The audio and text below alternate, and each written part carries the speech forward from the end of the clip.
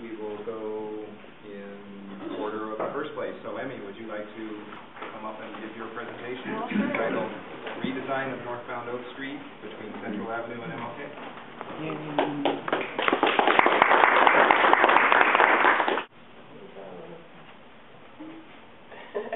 All right, good afternoon. My name is Emmy Foley, and for my project this semester, I studied northbound Oak Street between Central and Martin Luther King, as it says before. And Oak Street is the frontage road, in case you were not sure which one Oak Street is.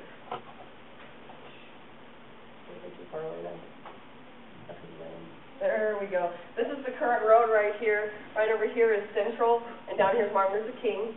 This is the exit lane from coming off of westbound Central, and this is the two lanes of Oak Street here that it meets up with. This is the exit lane coming off of I-25, and it merges in with Oak Street also, and then the split into three lanes right before Martin Luther King. I made sure to include a picture of this sign here that's on this road to pretty much epitomize how much attention has been paid to the stretch of road in the past few years. One, this is not an MUTCD approved message, and also these are, these are stick-on letters that are on for tra- the word traffic.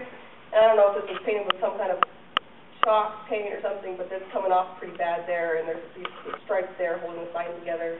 And I kind of doubt that it has any kind of reflectorization on it right now. I broke the road into three different sections, which we'll see in a second, and I counted traffic volumes at each, and then came up with my recommendations.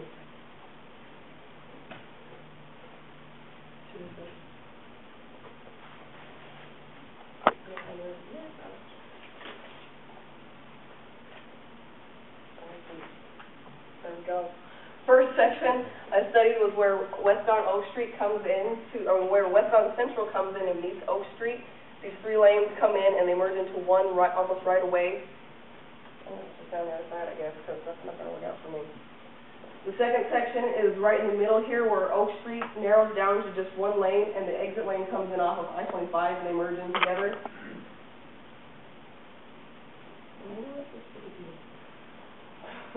And the third section is right up here where the Oak Street splits into three lanes directly prior to Dr. Martin Luther King.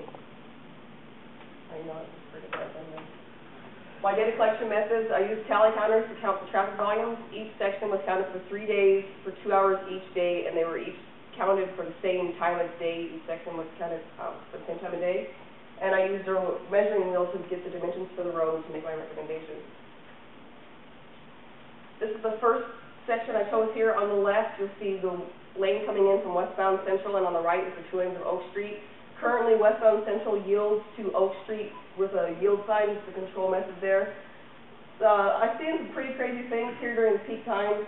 Cars have actually driven on the sidewalk to get around other vehicles, and right here where there's, there's this wide single lane here, cars will go four or five across trying to get around other cars because it gets really narrow at the end and it's crazy, and it takes, it takes more than five minutes to get from Central right here to Martin Luther King, is only eight hundred feet up the road, and so people just do crazy things to try to get ahead of the other drivers right here. This is the data, as you can see, the orange line is or cars coming from the one westbound Central lane compared to the yellow, which is the two lanes of Oak Street combined, and as you can see, uh, the traffic from westbound Central consistently outnumbers traffic from Oak Street, so and, but they don't have the right of way, and so it really causes a lot of problems.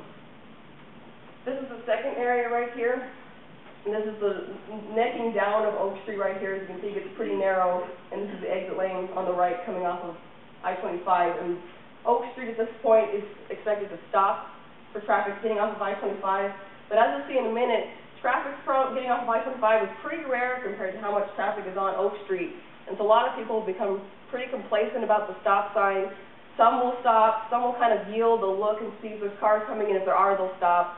Some will just blow through it like there's nothing there. And especially when traffic gets busy, so the light Martin Luther King is up behind this picture, and whenever traffic's blocked up, it will be blocked up from the light back to Central all the way. And so once the, once the traffic signal turns green at Martin Luther King, cars that are behind the stop sign have a really short window of time to be able to get through the light before it changes.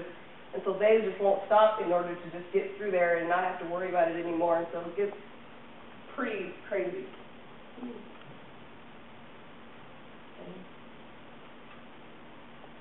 Right there, you can see seventy, that's not, was. There we go.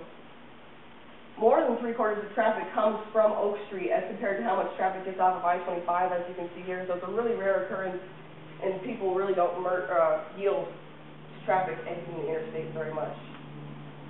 This is the final section I studied here. This is a stop sign right here where it necks down. And as you can see, all of the vehicles right now are piled into the center lane. There's, the three lanes. The left lane is a turn-only lane going left under Martin Luther King. The center lane continues straight, and the right lane either goes straight or you can turn right. And after the light, both of the straight lanes go straight onto I-25. There's no need to merge. Both of them turn straight onto there. But as you can see, no cars are in that right lane. And this line of traffic is blocked up for quite a ways behind this stop sign. and so if cars did use both lanes equally, you could really almost double traffic through this area and really ease the problems here, but they really don't do that right now. And as you can see here, a little bit more than three quarters of traffic chooses the left lane over the right lane pretty much all the time, so it's pretty bad. My proposed changes first is to change Oak's roadway alignment to provide two lanes all the way to Martin Luther King. I chose this picture here because as you can see, this is the side of the road. There's zero-scaping, a sidewalk, more zero-scaping, and another sidewalk. So there's plenty of room to just add a little bit more road width to have two lanes. And actually, the road is currently almost wide enough to provide two lanes. You can see this car here, there's a bunch of space next to them already. So there's really, there's only need for a couple feet really of extension to make it two usable lanes and it would really ease problems. The second is to remove this stop sign here and change the right-of-way so that Oak has the right-of-way over the exit lane, which as we saw before is really the minority of traffic. So you put a yield sign up there on the exit ramp to allow traffic from Oak Street to have the priority. And finally, there's no sign right now on Martin Luther King indicating, I'm not Martin Luther King, on Oak indicating lane usage when the road splits into three, so no one really knows, maybe. Now, I think that's probably part of the problem is no one is aware that both of the lanes go straight, or especially unfamiliar drivers. And so if we have the sign there, that itself could really ease the problem because people would know that both lanes go straight. Finally, here's the uh, design currently. As you can see, this really narrows down right here. We've got nice 12-foot lanes down here, and they're really next down here where they're coming together. This is my proposed solution. Oak Street would narrow down into just one lane right before westbound Central comes in, and then the westbound Central lane would actually form its own lane next to the single lane formed by Oak Street, and they would go straight through there, and they would have the right-of-way. And then the signs, I think that's the R, or I mean W4-2 sign, the W4-3 sign to let people know what's going on, remove the yield sign, remove the stop sign, and then add a yield sign on the exit ramp right there to let people know what's going on. And also the R3-8. Finally, this road really causes a considerable amount of congestion. After this point on this road, you cannot access I-25 again until you get to Martin Luther, not Martin King, Comanche, which is three miles up the road. And so people really don't have a lot of choice. If they're down, if you're downtown, the university, anywhere along Central, anywhere in that area, you don't have any other option if you want to get on I-25 but to use this. And it's really inadequately designed for the amount of traffic that it experiences. I don't think it's been touched since the interstate system was actually put in. And since then, traffic volumes have significantly increased, and it really needs to be changed. Uh, just a few simple changes could almost double traffic flow through the area. Even if the money wasn't available to widen the road, just removing the stop sign, changing the right-of-way there where the stop sign currently is located, and adding the R3-8 sign could significantly improve traffic at that in itself, where the, you know, the best option would be to widen the road. Sign change could also make a big improvement. Thank you very much for your time. Is there any questions? First place you work.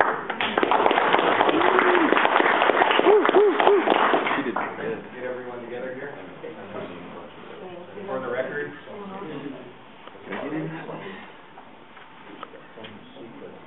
Thanks,